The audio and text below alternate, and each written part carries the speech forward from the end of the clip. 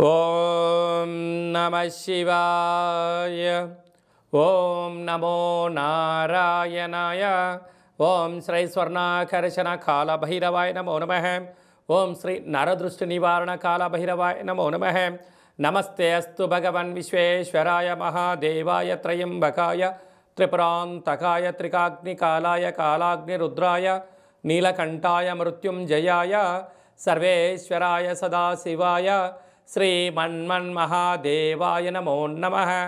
హరి ఓం. మా ఛానల్కి స్వాగతం.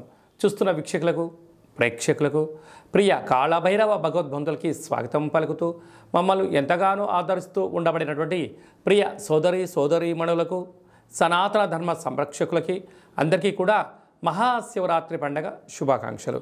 మహాదేవుడి యొక్క ఆశీస్సులు అందరిపైన ఉండాలని అందరినీ చల్లగా ఆశీర్వదించాలని నిండు నూరేళ్ళ ఆయురారోగ్యాలకు అందరికీ ప్రసాదించాలని జాతక చక్రంలో ఉండబడిన గ్రహ గమనాలు దోషాలు తొలగిపోయి ఎవరైతే ఏదైతే కోరుకుంటున్నారో అన్నింటా విజయాన్ని సాధించేటువంటి ఆశీర్వచనాన్ని భగవంతుడు అందరికీ ప్రసాదించాలని మనసారా కోరుకుందాం. ద్వాదశ రాశిలో గ్రహ గమనాల్ని ఒకసారి వీక్షింపచేద్దాం. మేషరాశిలో గురు సంచార స్థితి కన్యరాశిలో కేతు సంచార స్థితి మకర రాశిలో కుజుడు మరియు శుక్ర సంచార స్థితి కుంభరాశిలో రవి బుధాదిత్య రాజయోగము మరియు శనేశ్వర స్వామివారి యొక్క సంచార స్థితి. ఏడాది తర్వాత రవి భగవానుడు కుంభరాశిలో సంచారము. ముప్పై సంవత్సరాల తర్వాత శని భగవాని చేత రవి తన స్వక్షేత్రమైనటువంటి శని భగవాన్తో కలిసి సంచారం చేయడము ఇది ఒక యోగదాయకం అని చెప్పి గమనించగలగాలి. అలాగనే మీనరాశిలో రాహు సంచార స్థితితో ద్వాదశ రాశుల్లో గ్రహ గమనాలు ఈ విధంగా ఉన్నాయి. ఎనిమిదవ తారీఖున బుధ భగవానుడు మీనరాశిలోకి సంచారము. తొమ్మిదవ తారీఖున శుక్ర భగవానుడు కుంభరాశిలోకి సంచార స్థితి. పదహైదవ తారీఖున రవి భగవానుడు మీనరాశిలోకి సంచార స్థితితో ద్వాదశ రాశుల్లో గ్రహ గమనాలు ఈ విధంగా మేషరాశి వారికి ఎలా ఉండబోతుందో ఈ వీడియోలో సవివరంగా సంపూర్ణంగా తెలుసుకుందాం. మహాశివరాత్రి సందర్భంగా ఆదివారం అమావాస్య సందర్భంగా కాలభైరవాష్టమి సందర్భంగా ఈ మేషరాశి వారు ఎలాంటి విధి వినలు పాటించాలో తెలుసుకుందాం. మేషరాశిలో ఏ నక్షత్రాలు వస్తాయనగా అశ్విని నక్షత్రంలోని నాలుగు పాదాలు భరణి నక్షత్రంలో నాలుగు పాదాలు కృతికా నక్షత్రంలో ఒక పాదం కలిపితే మేషరాశి. చాలామందికి డేటా ఆపర్తులు లేనటువంటి వారికి పేరు యొక్క మొదటి అక్షరాన్ని అనుసరిస్తూ ఆ రాశిని తెలుసుకునే ప్రయత్నం ఏదో తెలియజేద్దాం.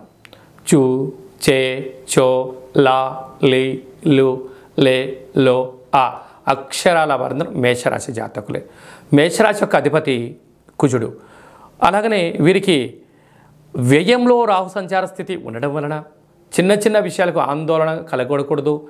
వీరు ఎదిగే కొద్దీ ఒదిగి ఉండగలగాలి. శత్రు అధికంగా ఉంటారు కనుక ఈ మహాశివరాత్రి సందర్భంగా నవధాన్యంలను నానపెట్టి మహాదేవుడికి ఎర్రటి కుంకుమతో జలంతో కలిగిన నీటితో అభిషేకం చేయించి ఆ తదనంతరం ఈ యొక్క నవధాన్యాలను తీసుకుని వెళ్ళి గోమాతకు దానం చేయడం వలన ప్రవహించే నీటిలో సమర్పించడం వలన పశుపక్షాదులు తిని వీరికి పైన ఉండబడిన నరదృష్టి శత్రు ప్రభావం తొలగిపోతుందని చెప్పి గమనించాలి.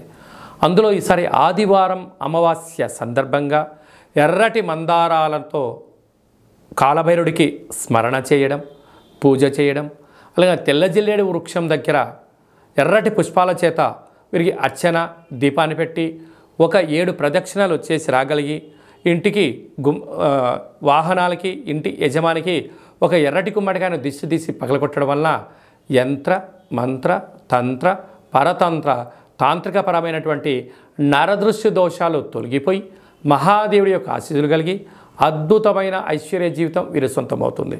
అలాగే సాఫ్ట్వేర్ ఉద్యోగస్తులు హార్డ్వేర్ ఉద్యోగస్తులు స్వయం వృత్తుల వాళ్ళు సేవా రంగాల వాళ్ళు వ్యవసాయ సోదరి సోదరి మణులకు కొద్దిపాటి ఎర్రటి తిలకాన్ని బొట్టుగా ధరించడం వలన ఈ దోషం తొలగిపోతుందని చెప్పి గమనించాలి.